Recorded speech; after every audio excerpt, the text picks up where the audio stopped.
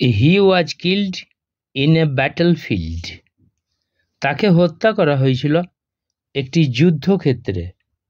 Change into active voice সেন্টেন্সটা passive ভয়েসে আছে। যুদ্ধক্ষেত্রে সাধারণত যারা লড়াই করে সৈন্য, তারাই অপর সৈন্যকে হত্যা করে।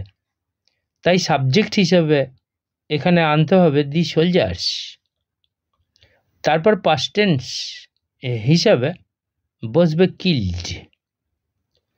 আর হিটা হিম হয়ে কিল্ডের পাশে বসানো হবে।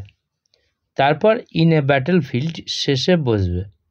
এখন অ্যান্সার হচ্ছে the soldiers killed him in a battle field সৈন্যরা তাকে হত্যা করেছিল একটি যুদ্ধক্ষেত্রে।